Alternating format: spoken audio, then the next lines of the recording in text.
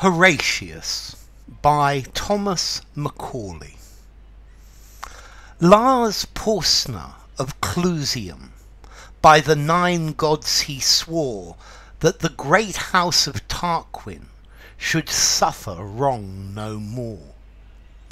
By the nine gods he swore it, and named a trysting day, and bade his messengers ride forth east and west and south and north to summon his array. East and west and south and north the messengers ride fast, and tower and town and cottage have heard the trumpet's blast. Shame on the false Etruscan who lingers in his home when Porsena of Clusium is on the march for Rome. The horsemen and the footmen are pouring in amain from many a stately marketplace, from many a fruitful plain, from many a lonely hamlet, which hid by beech and pine, like an eagle's nest hangs on the crest of the purple Apennine. From lordly Volaterrae, where scowls the far famed hold, piled by the hands of giants for godlike kings of old, from sea-girt Populonia, whose sentinels descry Sardinia's snowy mountain tops fringing the southern sky. From the proud mart of Pisae, queen of the western waves, where ride Massilia's triremes, heavy with fair-haired slaves. From where sweet Clanis wanders, through corn and vines and flowers, from where Cortona lifts to heaven her diadem of towers. Tall are the oaks whose acorns Drop in dark Auser's rill; Fat are the stags that champ the boughs Of the Ciminian hill.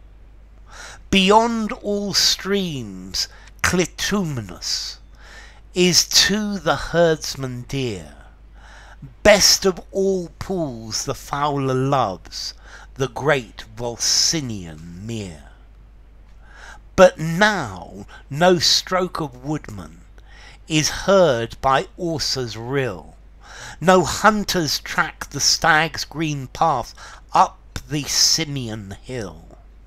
Unwatched along Clitumnus Gazes the milk-white steer, Unharmed the waterfowl may dip Into the Volsinian near. The harvests of Arretium this year old men shall reap. This year young boys in Umbro shall plunge the struggling sheep. And in the vats of Luna this year must shall foam Round the white feet of laughing girls whose sires have marched to Rome. There be thirty be chosen prophets, the wisest of the land, who always by Lars Porsena both morn and evening stand. Evening and morn the thirty have turned the verse o'er, traced from the right on linen white by mighty seers of yore. And with one voice the thirty have their glad answer given. Go forth, Lars Porsena, go forth, beloved of heaven. Go and return in glory to Clusium's royal dome, and hang round Nurscia's altars the golden shields of Rome. And now hath every city sent up her tale of men, the foot are fourscore thousand, the horse are thousands ten. Before the gates of Sutrium is met the great array. A proud man was Lars Porsena upon the trysting day. For all the Etruscan armies were ranged beneath his eye, and many a banished Roman, and many a stout ally. And with a mighty following to join the muster came the Tusculan Mamilius, prince of the Latin name. But by the yellow Tiber was tumult and affright, for all the spacious camp champaign, the men, the Rome men took their flight. A mile around the city, the throng stopped up the ways. A fearful sight it was to see through two long night and days. For aged folk on crutches, and women great with child, and mothers sobbing over babes that clung to them and smiled, and sick men borne in litters high on the necks of slaves, and troops of sunburned husbandmen with reaping hooks and staves, and droves of mules and asses laden with skins of wine, and endless flocks of goats and sheep, and endless herds of kine, and endless trains of wagons that creaked beneath the weight of corn sacks and of household goods choked every roaring gate. Now from the rock Tarpeian could the wan burghers spy the line of blazing villages red in the midnight sky. The fathers of the city, they sat all night and day. For every hour some horsemen came with tidings of dismay. To eastward and to westward have spread the Tuscan bands, nor house nor fence nor dovecote in Crustumerium stands. Verbenna down to Ostia hath wasted all the plain. Asturd has stormed Janiculum, and the stout guards are slain. I wis in all the senate there was no heart so bold, but sore it ached and fast it beat when that news, that ill news was told. Forthwith uprose the consul, uprose the fathers all. In haste they girded up their gowns and hied them to the wall. Then a council standing before the river gate, short time was there, ye well may guess, for musing or debate. Outspake the council roundly, the bridge must straight go down, for since Janiculum is lost, naught else can save the town. Just then a scout came flying, all wild with haste and fear. To arms, to arms, Sir Consul, Lars Porsena is here. And on the Lowes hills to westward the consul fixed his eye, and saw the swarthy storm of dust rise fast along the sky. And nearer, fast and nearer, doth the red whirlwind come, and louder still, and still more loud, from underneath that rolling cloud is heard the trumpet's war note proud, the trampling and the hum, and plainly and more plainly now through the gloom appears. Far to the left and far to the right, in broken gleams of dark blue light, the long array of helmets bright, the long array of spears. And plainly and more plainly, above that glimmering line, Now might ye see the banners of twelve fair cities shine. But the banner of proud Clusium was highest of them all, the terror of the Umbrian, the terror of the Gaul. And plainly and more plainly now might the burghers know, by port and vest, by horse and crest, each warlike Lucumo. There Cilnius of Arretium on his fleet roan was seen, and Astur of the fourfold shield, girt with the brand none else may wield. Tolumnius with the belt of gold, and dark Verbenna from the hold by reedy Thrasymene. Fast by the royal standard, o'erlooking all the war, Lars Porsena of Clusium sat in his ivory car. By the right wheel rode Mamilius, prince of the Latin name, and by the left full Sextus, that wrought the deed of shame. But when the face of Sextus was seen among the foes, a yell that rent the firmament from all the town arose. On the housetops was no woman, but spat towards him and hissed, no child but screamed out curses, and shook its little fist. But the consul's brow was sad, and the consul's speech was low, and darkly looked he at the wall, and darkly at the foe. Their van will be upon us before the bridge goes down, and if they once may win the bridge, what hope to save the town? Then out spake brave Horatius, the captain of the gate, To every man upon this earth death cometh, soon or late.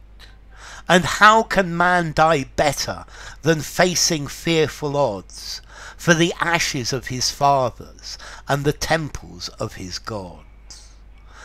And for the tender mother who dandled him to rest, And for the wife who nurses his baby at her breast, And for the holy maidens who feed the eternal flame, To save them from false Sextus, that wrought the deed of shame.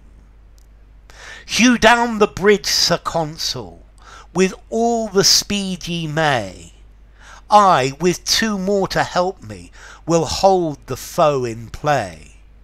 In yon straight path a thousand may well be stopped by three. Now who will stand on either hand and keep the bridge with me? Then out spake Spurius Lartius, a Ramnian proud was he. Lo, I will stand at thy right hand, and keep the bridge with thee. And out spake strong Herminius, of Titan blood was he. I will abide on thy left side, and keep the bridge with thee. Horatius, quoth the consul, as thou sayest, so let it be. And straight against that great array forth went the dauntless three. For Romans in Rome's quarrel spared neither land nor gold, nor son nor wife, nor limb nor life, in the brave days of old.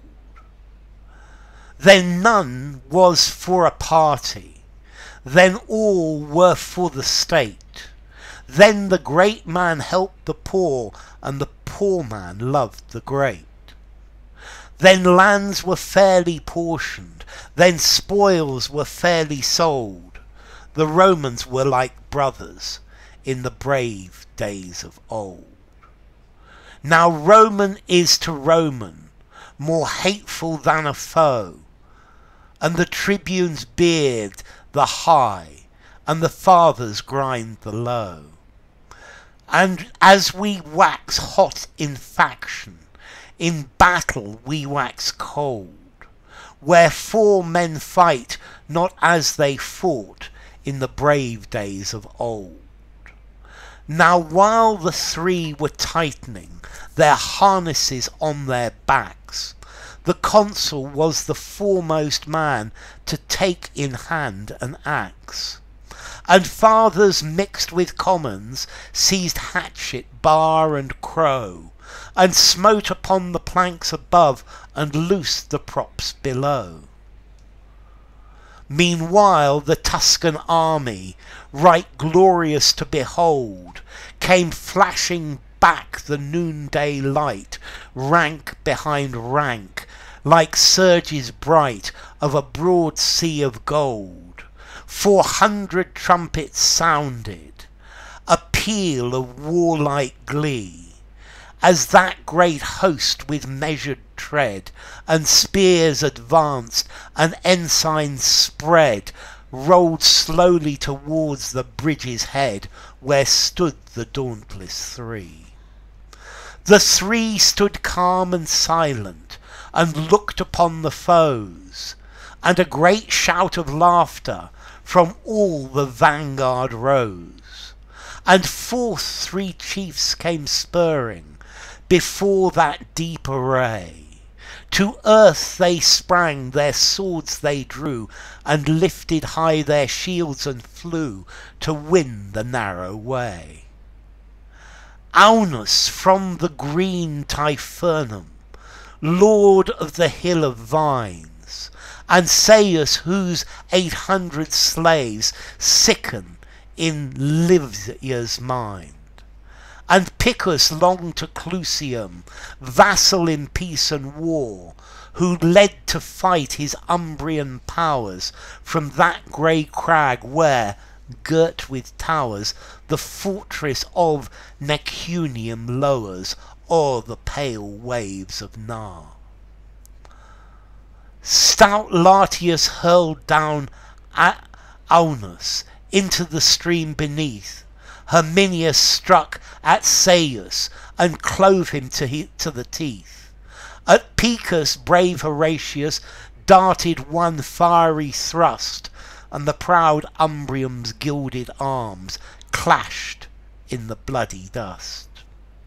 Then Ocnus of Falerii rushed on the Roman three, and Lausus of Urgo, the rover of the sea and Aruns of Volsinium, who slew the great wild boar, the great wild boar that had his den amidst the reeds of Cossa's fen, and wasted fields and slaughtered men along Albinia's shore. Herminius smote down Arus, Aruns, Lartius laid Ocnus low, Right to the heart of Lausulus Horatio sent a blow. Lie there, he cried, fell pirate, no more aghast and pale, for Ostia's walls the crowd shall mark, the track of thy destroying bark, no more Campania's hinds shall fly to woods and caverns when they spy thy thrice accursed sail.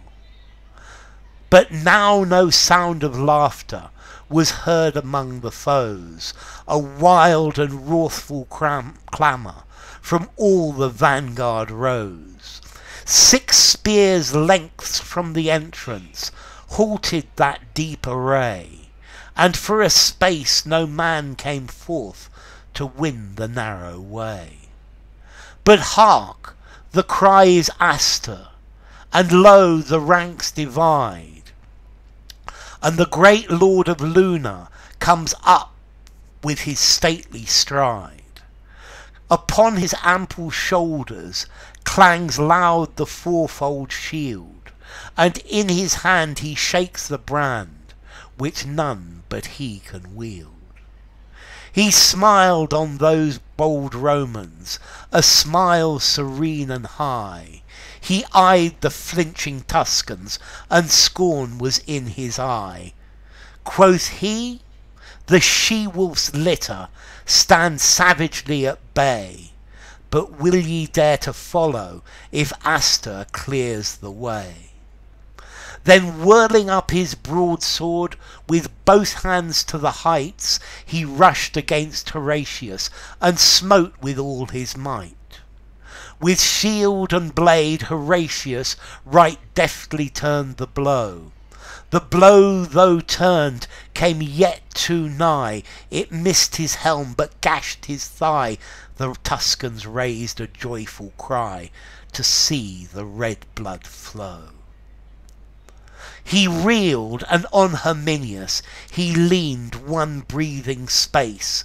Like then like a wildcat mad with wounds, sprang right at Astur's face. Through teeth and skull and helmet, so fierce a thrust he sped, the good sword stood a hand's breadth out behind the Tuscan's head. And the great lord of Luna fell at that deadly stroke, as falls on Mount Alvernus a thunder smitten oak. Far o'er the crashing forest the giant's arms lay spread, and the pale augurs muttering low gaze on the blasted head. On Astur's throat Horatius right firmly pressed his heel, and thrice and four times tugged amain ere he wrenched out the steel. And see, he cried, the welcome, fair guest that waits you here. What noble Lucumo comes next to taste our Roman cheer? But at his haughty challenge a sullen murmur rang mingled of wrath and shame and dread among that glittering van. There lacked not men of prowess, nor men of lordly race, but all Etruria's noblest were round the fatal place. But all Etruria's noblest felt their hearts sink to see on the earth the bloody corpses, in the path the dauntless three. And from the ghastly entrance, where those bold Romans stood, all shrank like boys who, unaware, ranging the woods to start a hare, come to the mouth of the dark lair, where growling low a fierce old bear lies amidst bones and blood. Was none who would be foremost to lead such dire attack, but those behind cried forwards, and those before cried back. And backward now and forward wavers the deep array, and on the tossing sea of steel to and fro the standards reel, and the victorious trumpet peal dies fitfully away. Yet one man for one moment strode out before the crowd, well known was he to all the three, and they gave him greeting loud. Now welcome, welcome, Sextus, now welcome to thy home. Why dost thou stay and turn away? Here lies the road to Rome. Thrice looked he at the city, thrice looked he at the dead, and thrice came on in fury and thrice turned back in dread.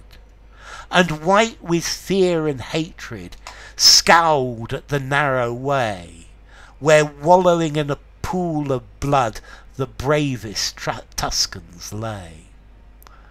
But meanwhile axe and lever have manfully been plied, and now the bridge hangs tottering above the boiling tide. Come back, come back, Horatius, Loud cried the fathers all, Back Lartius, back Herminius, ere the ruin fall. Back darted Spurius Lartius, Herminius darted back, and as they passed beneath their feet they felt the timbers crack. But when they turned their faces, and on the farther side they saw brave Horatius stand alone, they would have crossed once more.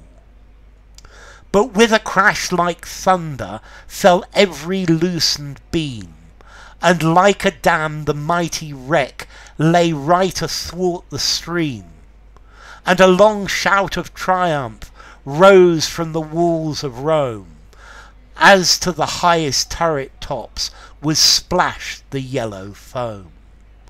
And like a horse unbroken, when first he feels the rein, a furious river struggled hard and tossed his tawny mane, and burst the curb and bounded, rejoicing to be free, and whirling down in fierce career, battlement and plank and pier rushed headlong to the sea.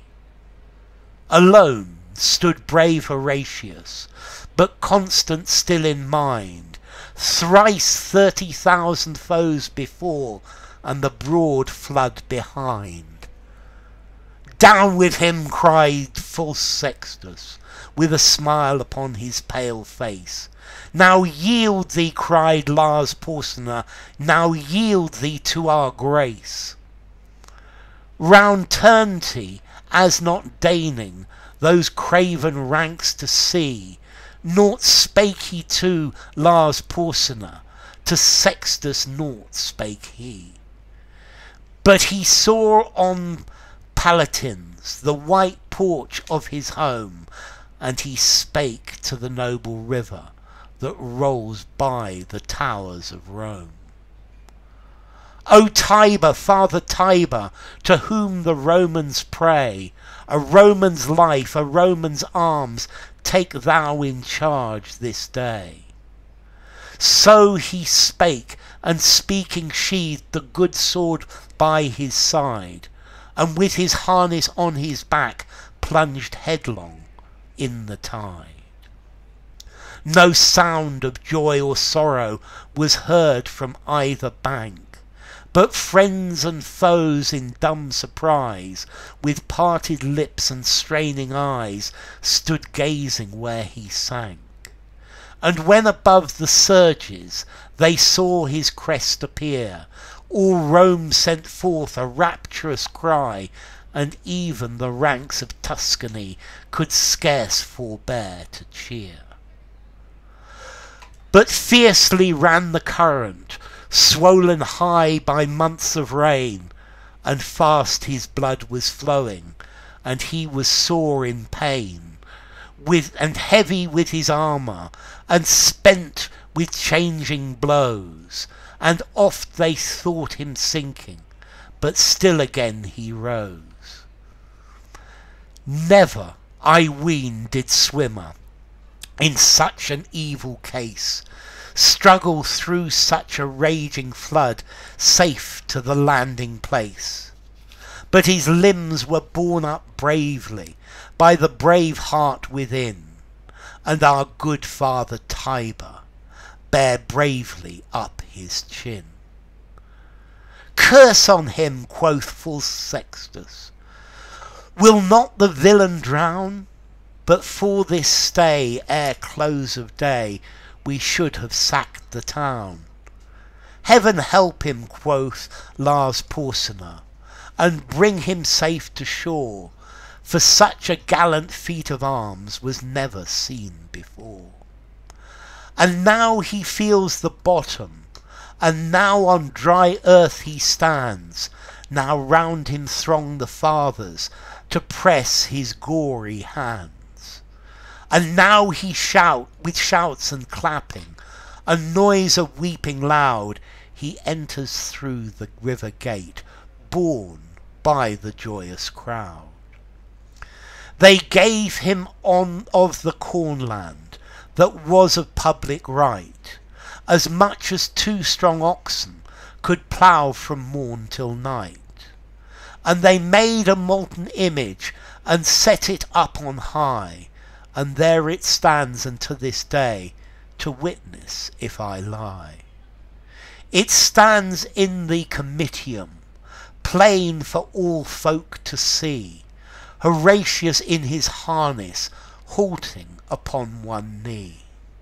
And underneath is written, in letters all of gold, how valiantly he kept the bridge in the brave days of old. And still his name sounds stirring unto the men of Rome, as the trumpet blast that cries to them to charge the Volscian home. And wives still pray to Juno for boys with hearts as bold as his who kept the bridge so well in the brave days of old. And in the nights of winter, when the cold north winds blow, and the long howling of the wolves is heard amidst the snow, when round the lonely cottage roars loud the tempest din, and the good logs of Algidus roar louder yet within. When the oldest cask is open, and the largest lamp is lit, when the chestnuts glow in the embers, and the kid turns on the spit, when young and old encircle, when the girls around the firebrands close, when the girls are weaving baskets, and the lads are shaping bows, when the good man mends his armour, and trims his helmet's plume, when the good wife shuttle good wife's shuttle merrily goes flashing through the loom. With weeping and with laughter, still is the story told, how well Horatius kept the bridge in the brave days of old. Okay, so let's see. This is a um, poem by um, Macaulay. This is an epic about uh, Horatius um, uh, ke keeping the uh, Etruscans or the Tuscans away from the uh, bridge. Uh, Macaulay liked this epic type of poetry. So enough. If you enjoyed the video, give it a rating, subscribe to my channel, and I will see you soon. Bye for now. Horatius by Thomas Macaulay.